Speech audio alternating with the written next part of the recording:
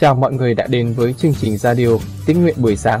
Mỗi buổi sáng thì lại mới luôn sự thành tín Ngài là lớn lắm. Lời Chúa là thức ăn thuộc linh cho chúng ta mỗi ngày để đắc thắng cám dỗ tội lỗi xác thịt xung quanh chúng ta. Ngài bổ lại linh hồn bạn, dẫn bạn vào các lối công bình. Vì cớ danh Ngài, Chúa thêm sức mới cho bạn. Chúa thêm lên cho bạn đức tin. Mỗi ngày càng gần Chúa và giống Chúa hơn và có mối quan hệ mật thiết với Chúa mỗi ngày. Chúa yêu bạn rất nhiều. Chương 20 Bây giờ, cả dân Israel đều kéo ra đi từ Dan cho đến Beersheba và cho đến xứ Galaad. Hội chúng tụ hiệp lại như một người trước mặt Đức Giê-hô-va tại Mít-ba. Những quan trưởng của cả dân sự, tức là của các chi phái Israel, đều ra mắt trong hội của dân Đức Chúa Trời. Có 400.000 lính bộ có tài cầm gươm. Và người Benjamin đã hay rằng dân Israel đi lên Mít-ba. Dân Israel nói, hãy thuật lại cho biết tội ác này đã phạm làm sao. Người Lê-vi, chồng của người đàn bà đã bị giết đáp rằng, Tôi có vào Gibea là thành của Benjamin với vợ bé tôi đặng ngủ đêm tại đó. Nhưng dân Gibea dấy lên cùng tôi, đang ban đêm vây nhà tôi ở. Chúng đã toan giết tôi, có hành hung cùng vợ bé tôi, và nó chết vì cớ đó.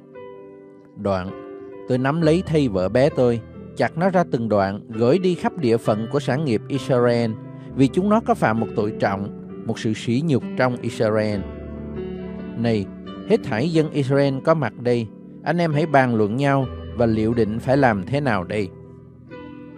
Cả dân sự đứng dậy như một người mà rằng, chẳng ai trong chúng ta sẽ trở lại trại mình, không ai rút về nhà mình.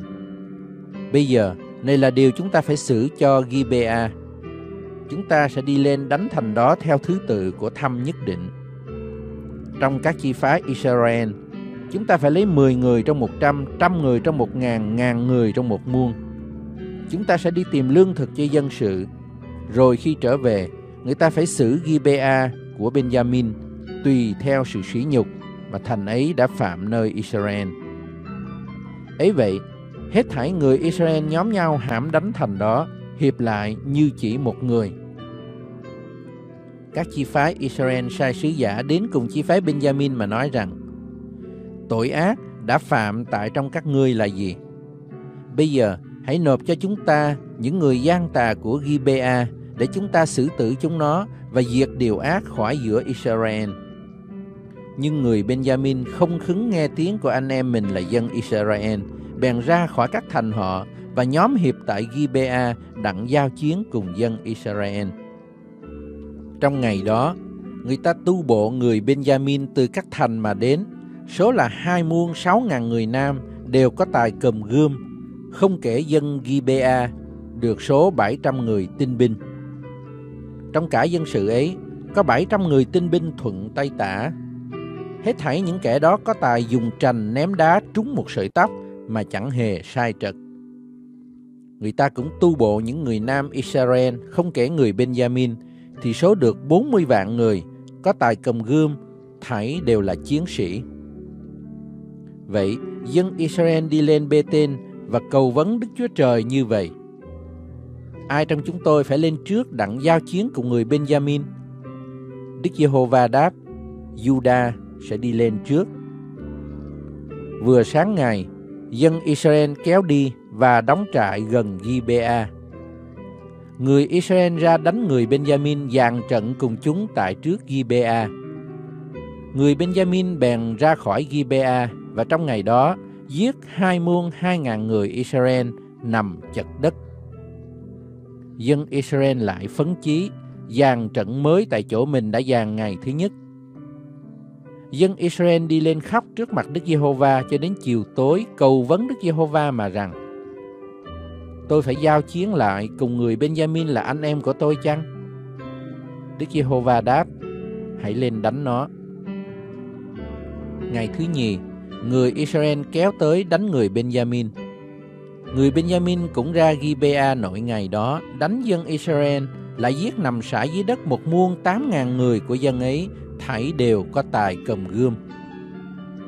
Bây giờ, hết thảy người Israel và cả dân sự đều đi lên Bê-tên, khóc và đứng tại đó trước mặt Đức Giê-hô-va, cử ăn trong ngày ấy cho đến chiều tối, rồi dân của lễ thiêu và của lễ thù ân tại trước mặt Đức Giê-hô-va. Đang khi ấy, hòm giao ước của Đức Chúa Trời ở tại đó, có Phinea, con trai Eleasa, cháu Aaron, phục sự trước mặt Đức Giê-hô-va. Vậy, dân Israel cầu vấn Đức Giê-hô-va mà rằng, tôi còn phải giao chiến cùng người Benjamin anh em tôi hay là tôi phải đình lại? Đức Giê-hô-va đáp, hãy đi lên, vì ngày mai ta sẽ phó chúng nó vào tay các ngươi. Israel bèn phục binh chung quanh Gibea. Ngày thứ ba, dân Israel đi lên, đánh người Benjamin và dàn trận cùng Gibea như các lần trước. Người Benjamin ra đón dân Israel, bị dụ xa thành. Y như hai lần trước, chúng khởi đánh và giết mấy người của dân Israel. Chừng 30 người, tại trong hai con đường trải qua đồng bằng đi lên, một ngã tới Bê-tên và ngã kia tới Gibea. Người Benjamin nói rằng, Kìa, chúng nó bị bại trước mặt chúng ta như lần trước. Nhưng dân Israel nói, chúng ta hãy chạy trốn, dụ chúng nó ra cách xa thành, đến trong các đường cái. Hết thảy người Israel bèn bỏ chỗ mình đứng, dàn trận tại Ba Anh Thama và đạo binh phục của Israel đâm sầm ra khỏi chỗ phục mình tại đồng bằng Gibea. Như vậy, xảy có một muôn tinh binh của Israel đã phục tại trước Gibea sông tới, đánh giặc rất dữ dội. Nhưng người Benjamin không biết tai họa hãm lấy mình. Đức Giê-hô-va đánh bại người chi phái Benjamin trước mặt dân Israel và trong ngày đó dân Israel giết hai muôn năm ngàn mốt người Benjamin, hết thảy đều có tài cầm gươm. Người Benjamin thấy rõ mình bị bại, và người Israel đã nhường bước cho người Benjamin vì chúng tin cậy nơi sự phục binh mình ở gần Gibea. Những binh đã phục, lật đật, sông hãm Gibea, đi tới lấy gươm giết hết thảy cả người ở thành. Người Israel đã hẹn một dấu hiệu với những binh phục là những binh phục phải làm cho một ngọn khói đen cất lên khỏi thành. Vậy, dân Israel đã thối lại trong trận, còn người Benjamin khởi đánh và giết chết chừng 30 người Israel. Chúng nói, quả thật chúng nó bị thua trước mặt chúng ta như lần trước. Nhưng khi trụ khói khởi bay lên khỏi thành, người Benjamin nhìn xem lại đằng sau, thấy cả thành đều có khói bay lên trên trời. Bây giờ, dân Israel trở lại, còn những người Benjamin lấy làm kinh hãi vì thấy tai họa đã hãm áp mình. Chúng xây lưng lại trước mặt dân Israel, chạy trốn về phía đồng vắng. Nhưng đạo binh Israel theo riết gần, và những kẻ ra khỏi thành đều bị giết liền. Chúng vây phủ người Benjamin, đuổi theo và chà đạp họ tại nơi họ dừng lại, cho đến chỗ đối ngang Gibea về hướng mặt trời mọc. Như vậy, một muôn tám ngàn người Benjamin phải ngã, thảy đều là người dõng sĩ. Trong số người xây lưng chạy trốn về phía đồng vắng, hướng hòn đá Rimmon, thì dân Israel còn giết dọc đường năm ngàn người nữa. Đoạn, theo giết gần đến Gideon thì giết hai ngàn người. Vậy, số tổng cộng người Benjamin ngã chết trong ngày đó là hai muôn năm ngàn người có tài cầm gươm, và thải đều là người dõng sĩ lại có 600 người xây lưng chạy trốn về phía đồng vắng, đến hòn đá Rimmon và ở đó 4 tháng. Đoạn, dân Israel trở lại đánh người Benjamin, dùng gươm giết hết thải người ta ở trong thành, súc vật và hết thải vật nào gặp được. Lại, hễ gặp thành nào thì châm lửa đốt nó. Chương 21 Tại Mít-ba, dân Israel có lập lời thề này – chẳng ai trong chúng ta sẽ gả con gái mình cho một người Benjamin. Đoạn, dân sự đến Bê-tên, ở lại đó trước mặt Đức Chúa Trời cho đến chiều tối, cất tiếng lên khắp dầm về mà rằng, Ôi Jehovah, Đức Chúa Trời của Israel, ngày nay thiếu một chi phái của Israel, sao tai họa này xảy đến cho chúng tôi? Qua ngày sau, dân sự đều đứng dậy, xây trong chỗ đó một bàn thờ, dâng lên của lễ thiêu và của lễ thù ân. Và dân Israel đã có thề lời trọng thể này. Kẻ nào chẳng đến ra mắt Đức Giê-hô-va tại Mít-ba sẽ hẳn bị xử tử. Nên họ bèn hỏi, trong các chi phái Israel có người nào không đến hội đồng trước mặt Đức Giê-hô-va chăng? Xong, dân Israel ăn năn về điều đã xảy đến cho chi phái Benjamin anh em mình mà rằng Ngày nay, một chi phái đã trút khỏi Israel. Chúng ta sẽ làm sao đặng có người nữ cho những kẻ còn sống? Vì chúng ta đã nhân danh Đức Giê-hô-va thề rằng không gả một con gái nào của chúng ta cho họ. Vậy chúng nói rằng, trong các chi phái Israel, có ai chẳng đến ra mắt trước mặt Đức Giê-hô-va tại Mít-ba chăng? Và từ Gia-be trong xứ Galaad chẳng có ai đến vào trại quân tại hội đồng, vì khi tu bộ dân thì chẳng thấy có người nào của dân Gia-be ở xứ Galaad. Hội chúng bèn sai đến Gia-be một muôn hai ngàn người mạnh mẽ hơn hết và truyền lệnh rằng hãy đi dùng gươm giết dân cư của Gia-bê ở xứ Galaad, luôn với người nữ và con trẻ. Này là điều các ngươi sẽ làm. Hãy tận diệt mọi người nam, luôn mọi người nữ đã làm bạn một người nam. Chúng tìm được trong dân gia be ở xứ Galaad 400 con gái đồng trinh chưa làm bạn với người nam, bèn dẫn chúng nó về trại quân tại Silo ở trong xứ Canaan. Toàn hội chúng sai sứ đến người Benjamin rút ở nơi hòn đá Rimmon đặng giảng hòa cho chúng. Người Benjamin bèn trở về. Dân Israel gả cho chúng những người nữ mình đã dung thứ để còn sống trong số những người nữ Gia Bê ở xứ Galaad, nhưng không đủ cho mọi người. Vậy, dân sự ăn năn về việc Benjamin vì Đức Giê-hô-va có làm khuyết trong các chi phái Israel. Các trưởng lão của hội chúng nói, bởi những người nữ của chi phái Benjamin đã bị tuyệt diệt, thì chúng ta phải làm sao đặng kiếm vợ cho những người còn lại. Lại tiếp rằng, những người còn sống sẽ nhận được sản nghiệp thuộc về Benjamin, kẻ một chi phái bị trút khỏi Israel chăng?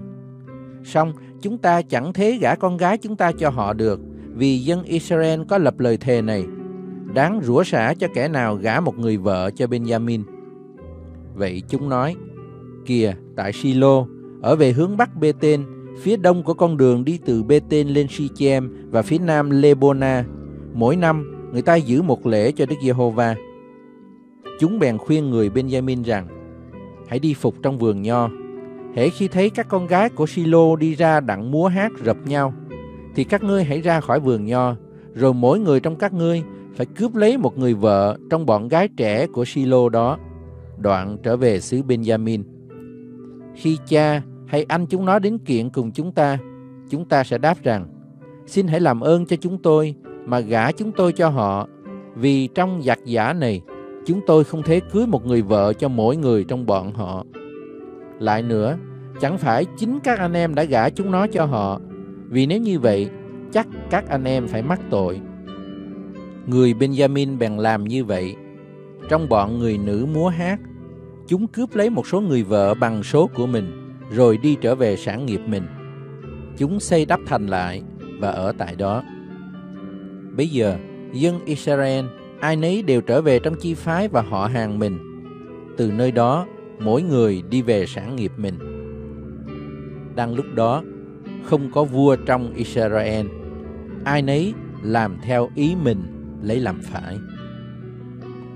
Chương 6 Hãy giữ, đừng làm sự công bình mình trước mặt người ta cho họ đều thấy. Bằng không thì các ngươi chẳng được phần thưởng gì của cha các ngươi ở trên trời. Vậy, khi ngươi bố thí, đừng thổi kèn trước mặt mình như bọn giả hình làm trong nhà hội và ngoài đường để được người ta tôn kính. Quả thật, ta nói cùng các ngươi, bọn đó đã được phần thưởng của mình rồi. song khi ngươi bố thí, đừng cho tay tả biết tay hữu làm việc gì, hầu cho sự bố thí được kín nhiệm và cha ngươi là đấng thấy trong chỗ kín nhiệm sẽ thưởng cho ngươi. Khi các ngươi cầu nguyện, đừng làm như bọn giả hình, vì họ ưa đứng cầu nguyện nơi nhà hội và góc đường để cho thiên hạ đều thấy. Quả thật ta nói cùng các ngươi, bọn đó đã được phần thưởng của mình rồi. Xong khi ngươi cầu nguyện, hãy vào phòng riêng, đóng cửa lại rồi cầu nguyện cha ngươi ở nơi kín nhiệm đó. Và cha ngươi là đấng thấy trong chỗ kín nhiệm sẽ thưởng cho ngươi.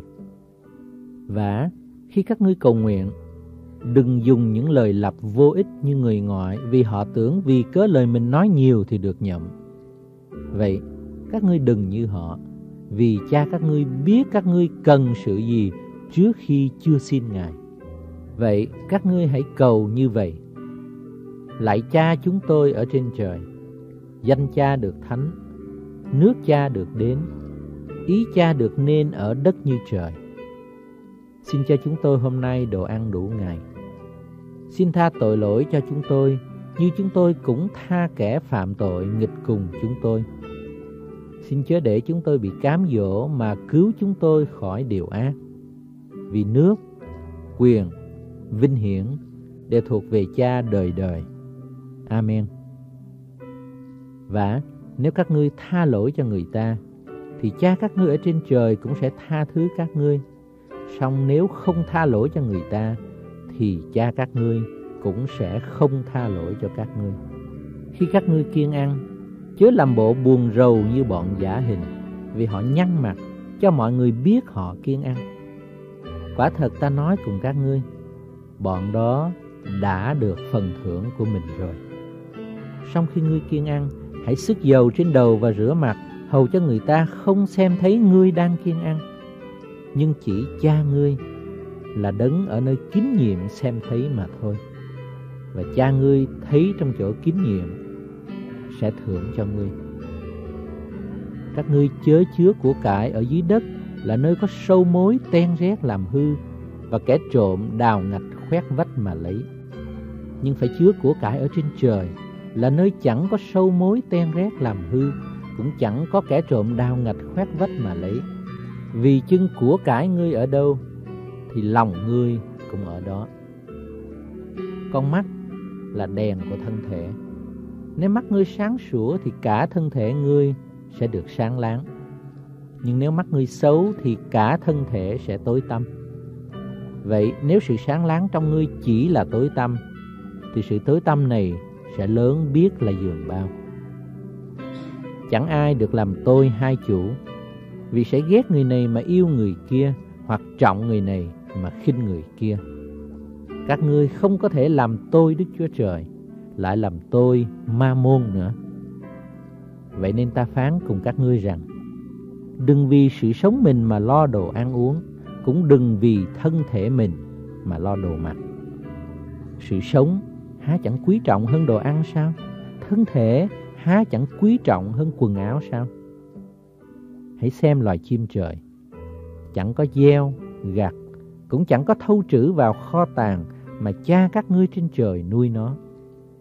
Các ngươi há chẳng phải là quý trọng hơn loài chim sao? vả lại, có ai trong vòng các ngươi lo lắng mà làm cho đời mình được dài thêm một khắc không? Còn về phần quần áo, các ngươi lại lo lắng mà làm chi? Hãy ngắm xem những hoa huệ ngoài đồng mọc lên thế nào. Chẳng làm khó nhọc, cũng không kéo chỉ. Nhưng ta phán cùng các ngươi, dẫu vua Salomon sang trọng đến đâu, cũng không được mặc áo tốt như một hoa nào trong giống đó. Hỡi kẻ ít đức tin, loài cỏ ngoài đồng là giống nay còn sống mai bỏ vào lò, mà Đức Chúa Trời còn cho nó mặc đẹp thể ấy thay, huống chi là các ngươi. Ấy vậy, các ngươi chớ lo lắng mà nói rằng, chúng ta sẽ ăn gì, uống gì, mặc gì. Vì mọi điều đó, các dân ngoại vẫn thương tim và cha các ngươi ở trên trời vốn biết các ngươi cần dùng những điều đó rồi. Nhưng trước hết, hãy tìm kiếm nước Đức Chúa Trời và sự công bình của Ngài thì Ngài sẽ cho thêm các ngươi mọi điều ấy nữa. Vậy, chớ lo lắng chi về ngày mai, vì ngày mai sẽ lo về việc ngày mai. Sự khó nhọc ngày nào đủ cho ngày ấy. Chương 7 Các ngươi đừng đoán xét ai để mình khỏi bị đoán xét. Vì các ngươi đoán xét người ta thế nào, thì họ cũng đoán xét lại thế ấy. Các ngươi lường cho người ta mực nào, thì họ cũng lường lại cho mực ấy. Sao ngươi dòm thấy cái rác trong mắt anh em ngươi mà chẳng thấy cây đà trong mắt mình? Sao ngươi dám nói với anh em rằng để tôi lấy cái rác ra khỏi mắt anh mà chính ngươi có cây đà trong mắt mình? Hỏi kẻ giả hình. Trước hết phải lấy cây đà khỏi mắt mình đi, rồi mới thấy rõ mà lấy cái rác ra khỏi mắt anh em mình được. Đừng cho chó những đồ thánh và đừng quăng hột trai mình trước mặt heo, kẻo nó đạp dưới chân và quay lại cắn xé các ngươi. Hãy xin sẽ được, hãy tìm sẽ gặp, hãy gõ cửa sẽ mở cho. Bởi vì hễ ai xin thì được, ai tìm thì gặp, ai gõ cửa thì được mở. Trong các ngươi có ai khi con mình xin bánh mà cho đá chăng? Hay là con mình xin cá mà cho rắn chăng? Vậy, nếu các ngươi vốn là xấu còn biết cho con cái mình các vật tốt thay, huống chi cha các ngươi ở trên trời lại chẳng ban các vật tốt cho những người xin Ngài sao? Ấy vậy, hễ điều chi mà các ngươi muốn người ta làm cho mình, thì cũng hãy làm điều đó cho họ. Vì ấy là luật pháp và lời tiên tri. Hãy vào cửa hẹp, vì cửa rộng và đường khoảng khoát dẫn đến sự hư mất, kẻ vào đó cũng nhiều. Song cửa hẹp và đường chật dẫn đến sự sống, kẻ kiếm được thì ít. Hãy coi chừng tiên tri giả là những kẻ mang lốt chiên đến cùng các ngươi, song bề trong thật là muôn sói hay cắn xé. Các ngươi nhờ những trái nó mà nhận biết được.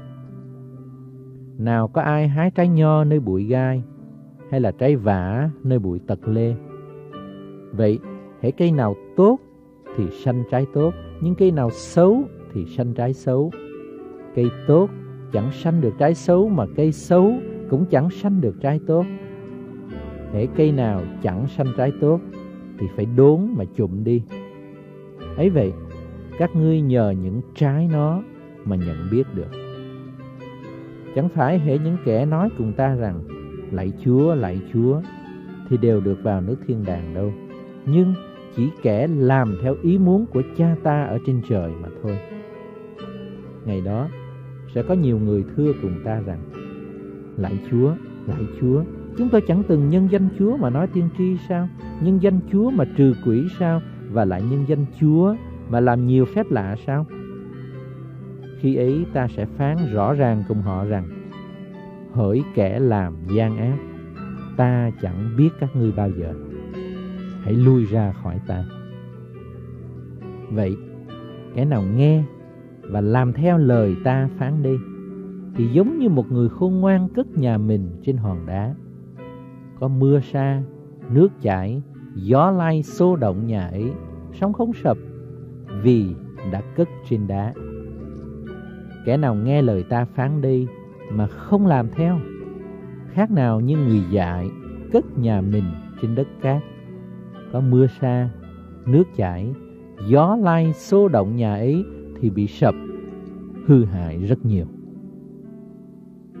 Và khi Đức Chúa Giêsu vừa phán những lời ấy xong Đoàn dân lấy đạo Ngài làm lạ Vì Ngài dạy như là có quyền Chứ không giống các thầy thông giáo Thi Thiên 67 Nguyện Đức Chúa Trời thương xót chúng tôi và ban phước cho chúng tôi, soi sáng mặt Ngài trên chúng tôi. Để đường lối Chúa được biết trên đất và sự cứu rỗi của Chúa được biết giữa các nước. Hỡi Đức Chúa Trời, nguyện các dân ngợi khen Chúa, nguyện muôn dân ca tụng Chúa. Các nước khá vui vẻ và hát mừng rỡ vì Chúa sẽ dùng sự ngay thẳng mà đoán xét các dân và cai trị các nước trên đất. Hỡi Đức Chúa Trời, nguyện các dân ngợi khen Chúa, nguyện muôn dân ca tụng Ngài. Đất đã sanh hoa lợi nó, Đức Chúa Trời là Đức Chúa Trời chúng tôi sẽ ban phước cho chúng tôi.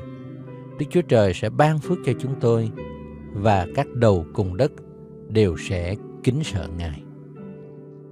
Cảm ơn Chúa lời của Ngài bày tỏ cho con. Thì giờ này chúng ta đến với Chúa trong sự cầu nguyện. Xin Thánh Linh Chúa hãy bày tỏ cho con biết Ngài dạy dỗ hay ấn chứng cho con điều gì qua lời của Ngài. Xin lời của Ngài được linh hồn con ăn nuốt vào trong tấm lòng và tâm trí của con mỗi ngày thêm lên lời của Ngài, để linh hồn con được tăng trưởng, thêm lên đức tin đặt để nơi Ngài. Xin Chúa cho con biết về Ngài nhiều hơn và con khát khao mối quan hệ mật thiết với Ngài nhiều hơn. Lạy Chúa con cảm ơn Ngài, mỗi ngày mới Ngài ban cho con hơi thở để tiếp tục sống trên đất này. Con nguyện huyết báo của Chúa Giêsu Christ thanh tẩy, tẩy sạch, bôi xóa những suy nghĩ, tư tưởng, hành động trong tâm trí, trong tấm lòng của con như ấy là gian dâm, ô uế, lung tuồng, thờ hình tượng, phù phép, thù oán, tranh đấu, ghen ghét, buồn, giận, cãi lẫy, bất bình, bè đảng, ganh gổ, say sưa, mê ăn uống, cùng các sự khác giống như vậy. Con nguyện xin dòng huyết báo của Ngài tẩy sạch bôi xóa sự xác thịt của con không đẹp lòng Ngài ra khỏi con ngay giờ này. Bây giờ con được thánh sạch đứng trước mặt Ngài. Chúa ơi xin hãy cáo trách và thanh tẩy khi môi miệng con nói điều dơ giấy không đẹp lòng Ngài. Xin Chúa hãy thêm sức và hướng dẫn con ăn, hoặc uống, hay là làm sự chi khác, hãy vì sự vinh hiển Đức Chúa Trời mà làm. Xin Chúa thêm lên cho con đức tin để mỗi ngày con trong cậy nơi Chúa càng hơn. Xin Chúa thêm lên sự sức giàu trên con để con bày tỏ danh của Ngài trên chính đời sống hàng ngày của con, để con như muối của đất, ánh sáng của thế gian. Con nguyện Thánh Linh Đức Chúa Trời đổ đầy, đầy dẫy con Chúa ơi, những bông trái của Thánh Linh, ấy là lòng yêu thương, sự vui mừng, bình an nhịn nhục, nhân từ, hiền lành, trung tín, mềm mại, tiết độ đầy dẫy trên con. Con xin Chúa thêm sức mới, thêm đức tin cho con. Xin Chúa dẫn dắt con để con đắc thắng một ngày mới trong ngày. Con cảm ơn Chúa, con dâng mọi vinh hiển tôn quý lên ba ngôi Đức Chúa Trời toàn năng và phước hạnh con nhận lãnh từ nơi Ngài. Và con thành kính dâng lên cha lời cầu nguyện trong danh Chúa Giêsu Christ. Amen. Cảm ơn bạn đã lắng nghe. Xin Thánh Linh Chúa cho sứ điệp này để khích lệ thêm động lực bạn bước đi với Chúa mỗi ngày. Mọi đóng góp ý kiến hay góp phần dâng hiến cho chương trình, xin gửi về gmail dưỡng linh cơ đốc 2020a gmail.com. Bạn ủng hộ chương trình bằng cách chia sẻ chương trình rộng rãi trên mạng Internet cộng đồng xã hội. Hẹn bạn dưỡng linh hàng ngày tiếp theo. Chúa yêu bạn rất nhiều.